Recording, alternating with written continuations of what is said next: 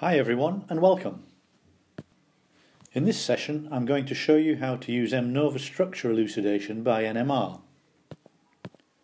This clip runs to about 25 minutes, so might be a good idea to get a cup of coffee or a cup of tea, sit back and enjoy.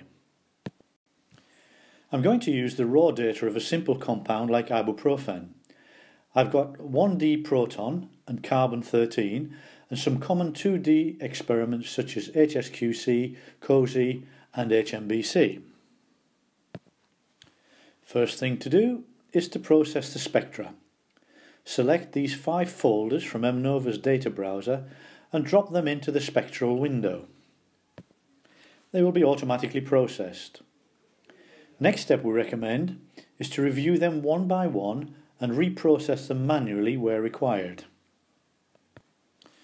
For the proton spectrum, we can see that the phasing is correct, but I'm going to apply baseline correction.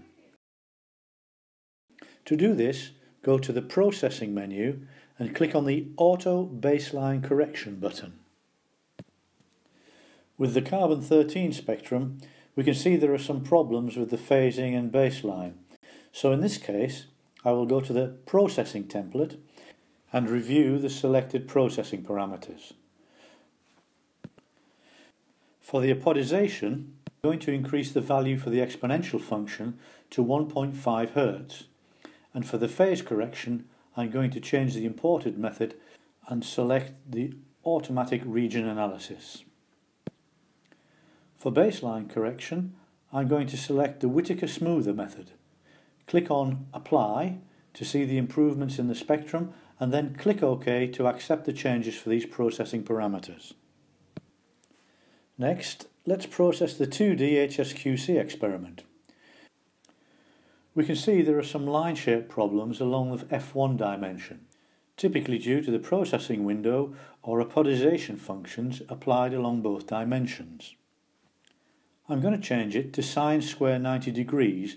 That usually resolves the line shape in a better way for HSQC and HMBC. We can do this in both dimensions f1 and f2. If we apply the changes, we can see a much better line shape on either dimension. We notice that these two peaks are very close and not fully resolved, so I'm going to edit the linear prediction values along f1 dimension to increase the resolution. In order to do this, we will try to amend the data points in the forward linear prediction to 512 points. Click on apply and we can see the line width along F1 much smaller than before. So we can click OK to accept the results and zoom in to see the more resolved peaks.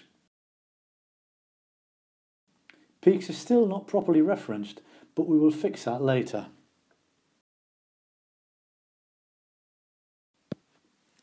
The next item is a COSY experiment and it looks fine, so we can move to the HMBC experiment.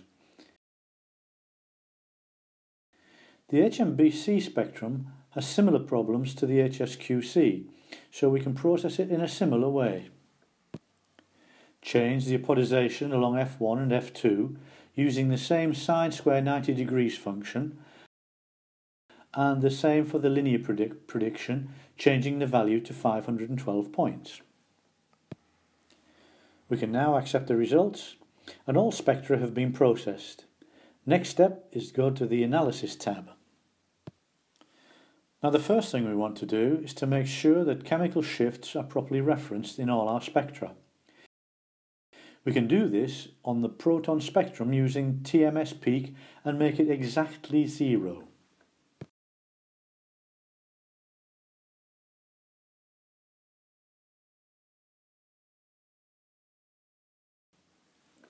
We could do this for each spectrum manually or use this useful tool called Absolute Reference to apply the already referenced proton spectrum to the rest of the spectra in one go.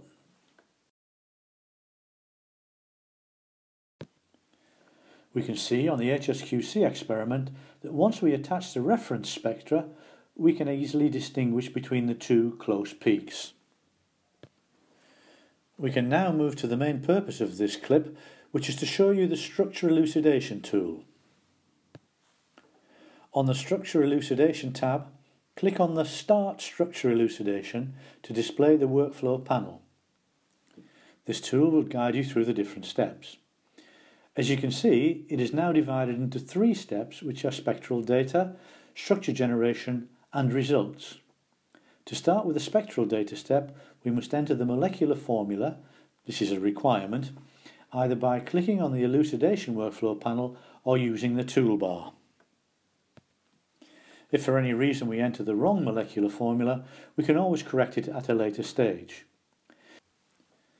In this particular case, I will type the molecular formula for the proposed example ibuprofen, C13H18O2.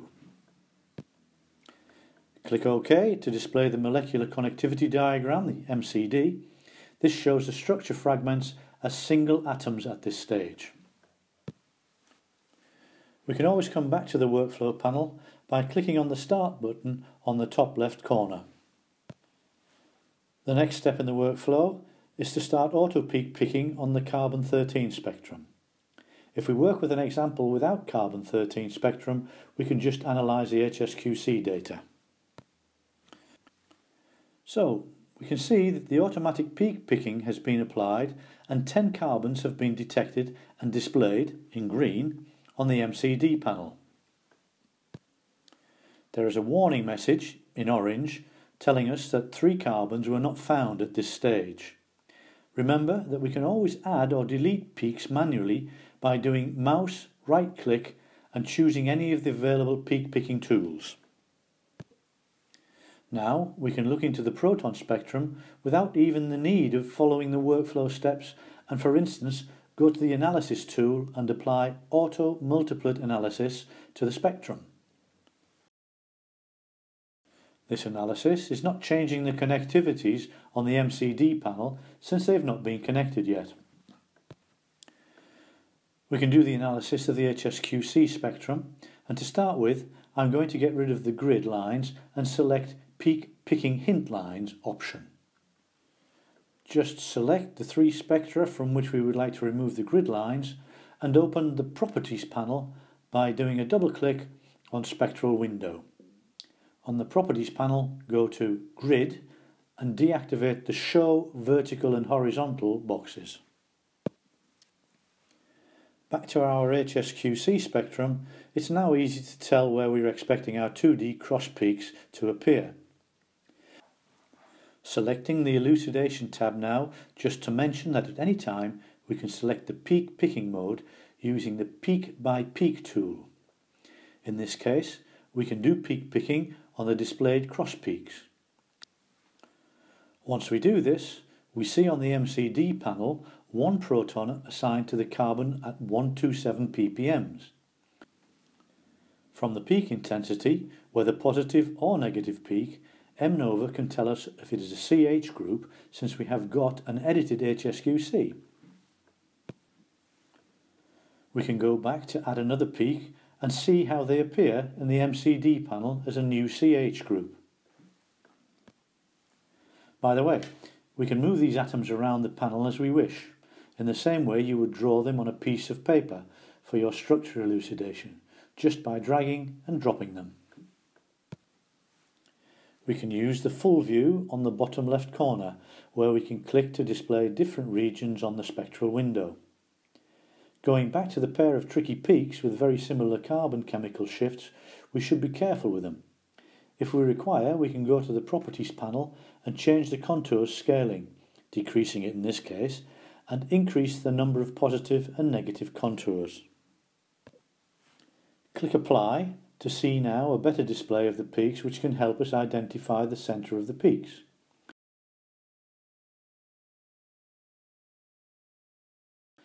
We can use the peak by peak tool again to assign these carbons.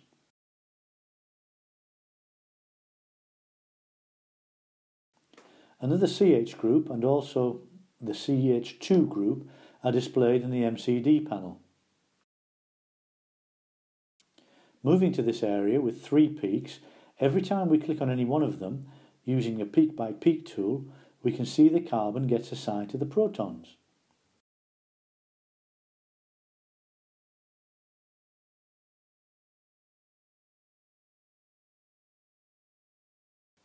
Let's make sure there are no other cross peaks on a side. The warning message still says that there are three carbon atoms not found. These are due to molecular symmetry, so let's try to assign them to the symmetrical atom groups. From the 1D proton spectrum, we can see that two protons, CH groups, at 7.2 ppms integrate by 2, so to define this, we can use the elucidation constraints tool. On the elucidation constraints table, make sure that under spectral data, the option show combined data is selected. The two symmetrical atom groups are 17 and 18, so in the atoms column we can edit the value and type 2. On the connectivity table we can see how another CH group has been assigned. We can do the same for atom 18 on the constraints table and find it assigned on the MCD panel. The warning message still says one carbon atom is not found. Reviewing our data, we can see that we have a methyl group assigned at around 0.85 ppms, but integrates by 6 protons. This means that this group should have a symmetrical partner. We can use the constraints table again and edit the number of atoms for this group as 2. Once again, we can find the assigned group on the MCD panel. We can also see three carbons with no connectivities on the HSQC spectrum. Hopefully we will obtain some extra connectivities on the HMBC spectrum. Just to mention, you can see now there is no warning message displayed. Moving back to the elucidation workflow, we can see that the next steps are analysing the COSY and HMBC spectra. Just to show that we do not need to follow the proposed order, I'm going to analyse the COSY spectrum. As before, we can do manual peak picking for the cross peaks, zooming in these particular peaks at 7 ppms and selecting the peak picking hint lines. We can see how we have got both diagonal and cross peaks. If we're uncertain about them, we can leave them without applying peak picking.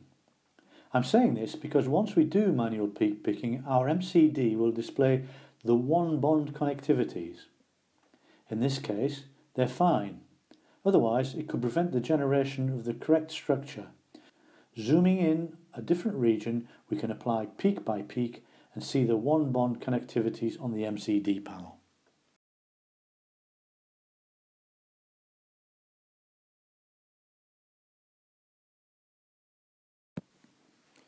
We can do the same with the HMBC spectrum and for instance in this region we can apply again peak picking and see the connectivities on the panel. In this case the carbon at 139 ppm is connected to the two symmetrical CH groups. These green arrows indicate that this belongs to a 1 or 2 bond correlation. And we can do the same for carbons at 138 ppms Doing the same for the other two crossed peaks, we can see that there is no change on the MCD, proving that these are the symmetrical groups. If we zoom into a different region, we see some cross peaks which are important for the quaternary carbon assignment. Peak picking hint lines again can help us here so that we do not pick the artifacts.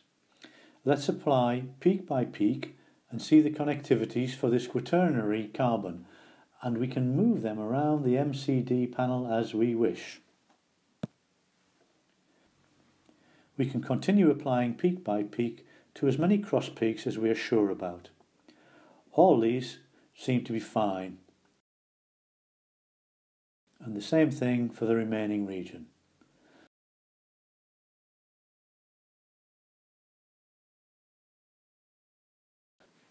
Some of them may be redundant, and some others can be problematic if not resolved sufficiently. If that's the case, better not to select them.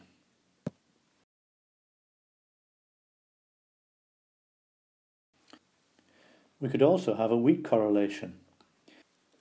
We can try to do peak by peak and check any change in the MCD. If we do not think it's a genuine correlation, just omit it.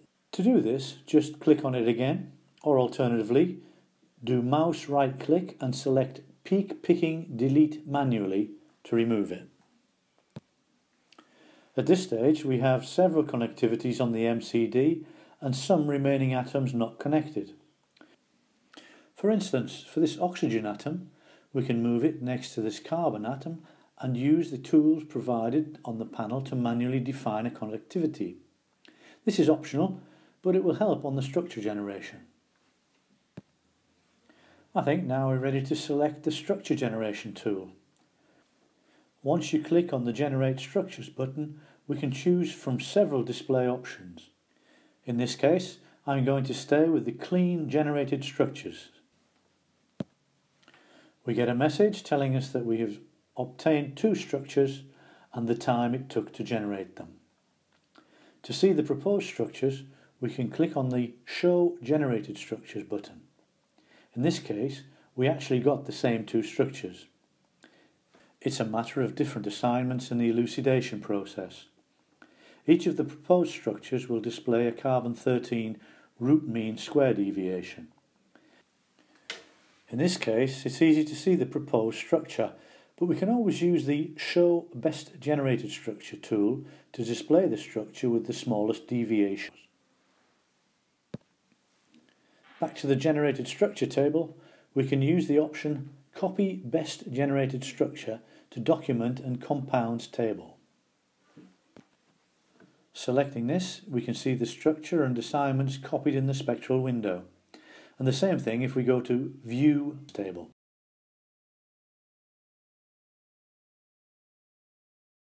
Another benefit is to see all assignments displayed on all the spectra.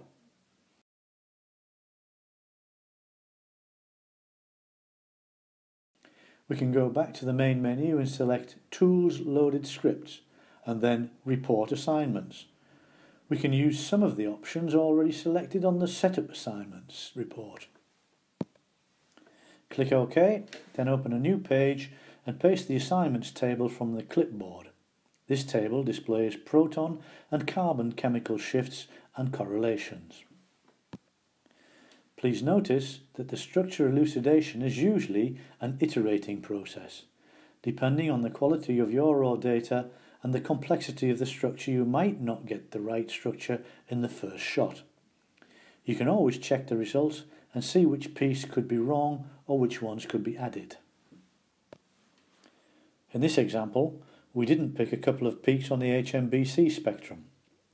Applying peak by peak and looking at them closely, we can see how the one at around 7.09 ppms has been picked wrongly, so I'm manually correcting it. With these extra peaks added, I can run the structure generation again and see there are no changes and we still obtain the same proposed structure. Continuing with this demo case, we can try to get rid of some connectivities and see what results we get. For instance, let's remove some correlations randomly on the HMBC and regenerate structures.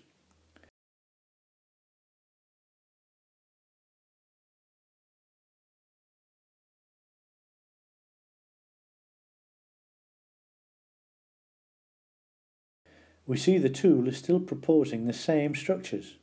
Finally, let's remove some more and see what we get.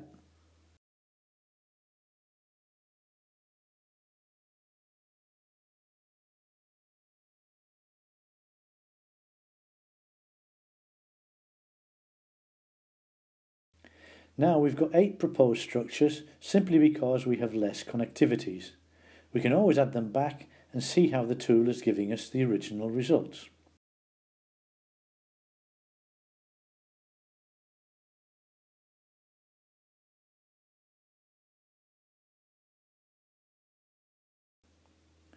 We hope this gives you an overview how to use NMR structure elucidation tool and how it can help you to determine a structure starting from the raw data. Thank you very much and see you with some more elucidation examples soon.